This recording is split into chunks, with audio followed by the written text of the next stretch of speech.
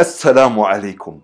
Wird man Fasten angenommen oder nicht? Eine Frage, die man eigentlich nicht so leicht beantworten kann.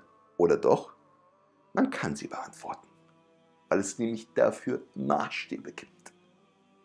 Maßstäbe, anhand derer du selbst beurteilen kannst, ob Allah subhanahu wa ta'ala dich in diesem gesegneten Monat akzeptiert hat oder nicht. Was ist dieser Maßstab? Dieser Maßstab ist, hat dich Ramadan etwas verändert oder nicht? Bist du nach Ramadan standhaft oder nicht? So einfach ist es. Das eigentliche Ziel dieses Monats ist was? La'allakum tattaqun, auf das ihr Gottes Bewusstsein erlangen mögt. Und was sagt Allah subhanahu wa ta'ala über diejenigen, die Taqwa erlangt haben? Innama yataqabbalu Allahu min al-muttaqin. Allah nimmt nur von wem an? Von den Muttaqin. Und dementsprechend, du bist derjenige, der selbst bestimmt, ob dieser gesegnete Monat von ihm akzeptiert wird oder nicht.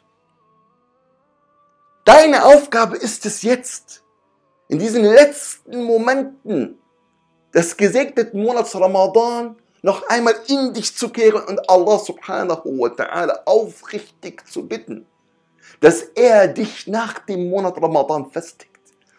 Weil das das beste Zeichen dafür, dass Allah subhanahu wa ta'ala dich annimmt und akzeptiert. Und genau das ist es, was die Sahaba radwanullahi alaihim getan haben. Nachdem Ramadan fertig war, haben sie nicht mit diesem Kapitel abgeschlossen, so als hätten sie nie gefastet, so als hätten sie Allah subhanahu wa ta'ala nur im Ramadan angebetet. So als wäre Allah nur der Herr vom Ramadan und nicht der Herr deines gesamten Lebens, den du dein gesamtes Leben anbeten solltest. Nein, sie haben vielmehr nach Ramadan noch einmal sechs ganze Monate Allah subhanahu wa ta'ala gebeten, dass er von ihnen den Ramadan annehmen möge. Das ist es, worauf es ankommt. Bete Allah nicht nur im Ramadan an. Sei nicht nur ein Muslim im Ramadan, sondern sei wirklich ein gottergebener Mensch, so wie es Allah subhanahu wa ta'ala von uns im Koran verlangt hat. Muslim heißt Gott ergeben, nicht Ramadan ergeben. قل إن صلاتي ونسكي ومحياي ومماتي لله رب العالمين. Sprich, O Muhammad, mein Gebet, mein Opfer, mein Leben und mein Tod sind für Allah, den Herrn der Welten.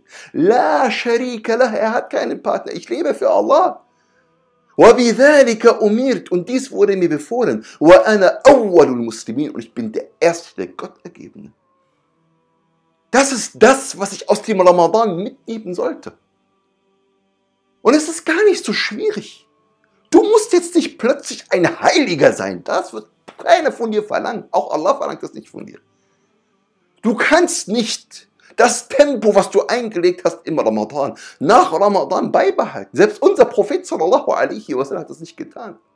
Aber das Mindeste, was wir tun sollten, und das ist das Mindeste, ist, dass wir unsere Pflichten gegenüber Allah subhanahu wa ta'ala nach dem Monat Ramadan einhalten.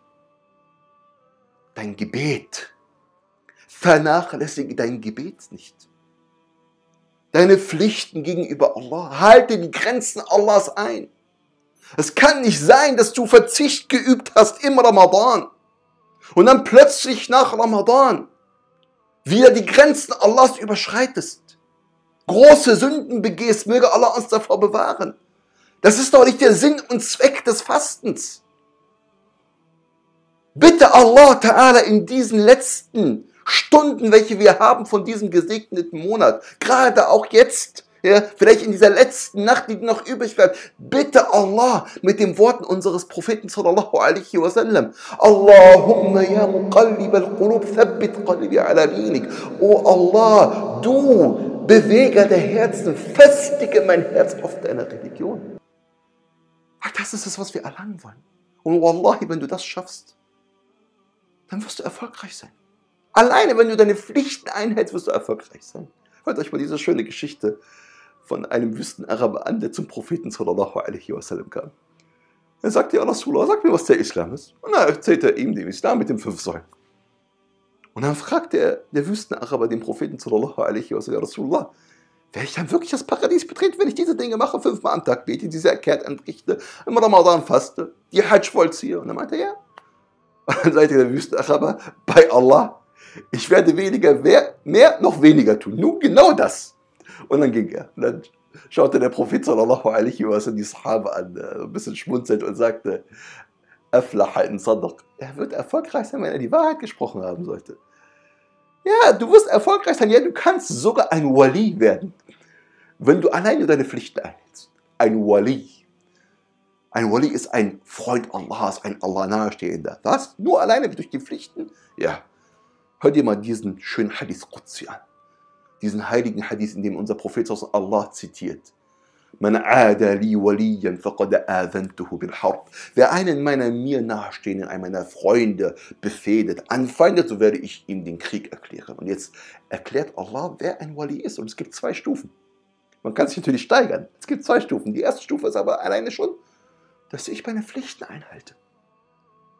وما تقرب إلي عبدي بشيء أحب إلي مما افترضت عليه und mein Diener nähert sich mir mit keiner Sache, die mir lieber ist, als das, was ich ihm zur Pflicht auferlegt habe. Es ist einfach, es ist nicht schwierig.